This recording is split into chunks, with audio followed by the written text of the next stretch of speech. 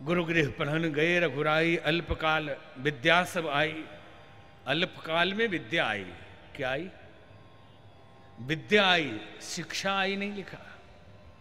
शिक्षा भी बुरी चीज़ नहीं है, लेकिन विद्या और शिक्षा में थोड़ा अंतर कर लीजिए आज यहाँ।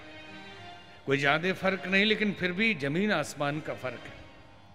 शिक्षा का मतलब है जो पदार्थ जगत की जानकारी देता है। पदार्थों को उपयोग करने के लिए, बनाने के लिए जो विधि देता है, वो शिक्षा है, जिसे हम विज्ञान कहते हैं। और किस प्रयोजन के लिए उस सामान का उपयोग करना है, ये विवेक देता है, उसी को विद्या कहा जाता है। परमाणु बनाने की विधि शिक्षा से होती है, लेकिन परमाणु फोड़ा कहाँ जाए, ये बुद्धि जो दे, वही विद्या है। कि अपने आप में फोड़ लीजिए, दुनिया को बर्बाद कर लीजिए, या उस परमाणु शक्ति से बिजली पैदा करके रोशन कर दीजिए सबको, या कुछ और काम उस यूरेनियम से कर लीजिए। विद्या ददाति विनयम। विद्या विनय देती है। अगर तथा कथित आज की शिक्षा विद्या होती तो आज के पढ़े लिखे लोग कभी लड़ते नहीं। पढ़े लिखे लोग पति पत्नी में कभी तलाक नहीं होता। गाँव के अनपढ़ लोगों में तलाक सुनने में भी बहुत कम आता है, लेकिन पढ़े लिखे लोगों के यहाँ रोज तलाक हो रहा एक दिन की घटना है कि एक राज्य में रानी का नाम था शिक्षा रानी का नाम था विद्या और उसकी दासी का नाम था शिक्षा। और दोनों जुड़वा बहन जैसी थी हो बहो लेकिन रानी को बड़ा सम्मान मिलता था। दासी को लोग सम्मान नहीं करते थे। रूप एक जैसा लेकिन रानी मुकुट श्रृंगार और आभूषण, वस्त्र सुंदर पहनती थी। दासी साधारण कपड़े पहनती थी। दासी जलती रहती थी। दासी जलती रहती थी रानी से कि मैं भी इतनी सौंदर्यवान हूँ, फिर भी मुझे सम्मान नहीं मिलता। एक दिन रानी राजमहल के तालाब में नहाने गई। साथ में दासी भी गई। जैसे ही नहाने के लिए तालाब में उतरी दासी ने ईर्ष्यावश रानी के सारे वस्त्र आभूषण पकड़े और पहन लिया। देखने में तो वैसी ही थी।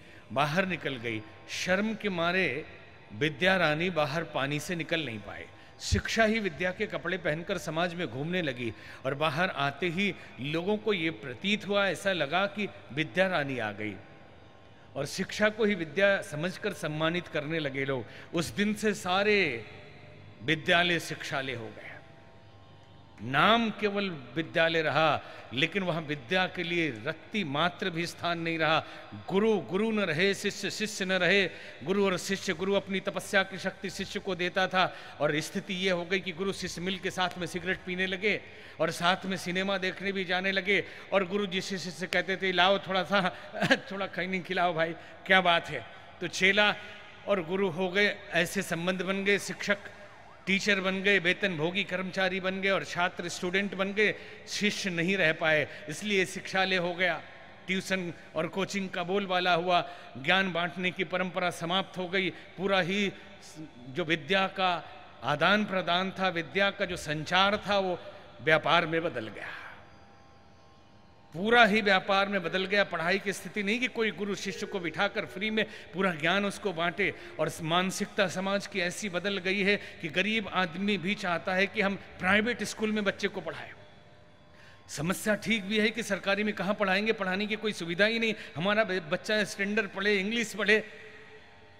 और लेकिन आज तक अगर गिनती करेंगे तो कोई भी महापुरुष ऐसे इंग्लिश पर पढ़ के महापुरुष नहीं बने।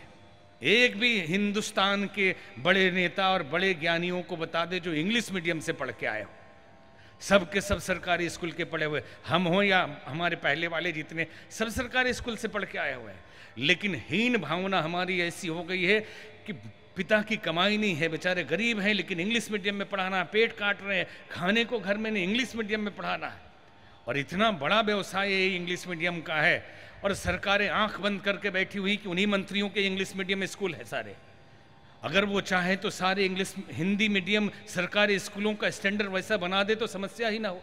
अपने बच्चों को यदि सरकारी स्कूल में भेजने लगे नेता लोग तो सभी लोग वहाँ भेजने लगेंगे और उसका स्तर वैसा करना पड़ेगा। लेकिन सारे नेता अपने बच्चों को भेजते हैं अंग्रेज़ी मीडियम में और कहते हैं कि समाज के सामान्य लोग उस हिंदी मीडियम में पढ़ें जहाँ टूटा फूटा पीने के लिए पानी नहीं, वहाँ पर जाने के लिए बाथरूम नहीं, पढ़ने, पढ़ाने के लिए टीचर नहीं, टीचर भी गायब है। और वो भी स्टैंडर्ड क्या, उसका भर्ती करते हैं शिक्षकों की सत्रह टीचर की ज़रूरत है तो पाँच टीचर वहाँ और भी पाँच टीचर में से हाजिरी बना के तीन टीचर चले गए, दो बैठे हुए चपरासी की तरह बच्चे आए फुटबॉल खेल, हम लोग भी पढ़ाई पढ़े वही वाली। ये गए, हाजिरी बनाया, फुटबॉल खेलने चले गए, हो गई पढ़ाई। तो देख रहे हैं हम भी समाज को तो इस समाज में जो नेतृत्व में बैठे हुए हैं, उनके लिए संदेश है। कि समाज में सुधार तभी होगा जब शिक्षा व्यवस्था में सुधार की जाए और सुधार गरीब लोग मरे जा रहे हैं। लोग आत्महत्या कर लेते हैं कि बच्चों का एडमिशन नहीं मिलता। एक बड़े इंग्लिश मीडियम एडमिशन के लिए बड़े बड़े लोग पैरवी लगाते हैं। एक दूसरे देश से हमारे पास फ़ोन आया कि हमारे परिचित आदमी का लखनऊ के क्या कौन से इंग्लिश मीडियम में एडमिशन कराना जरा आप पैरवी लगवा दीजिए। के क्लास में एडमिशन के लिए पैरवी लगाना पड़ रहा है। और जो पैरवी लगा के एडमिशन कराने जा रहा है, उसकी मानसिकता क्या है? आप घर में पढ़ाओ, सरकारी में पढ़ाओ, अगर उसके अंदर क्षमता है तो वो बन जाएगा जो बनना है।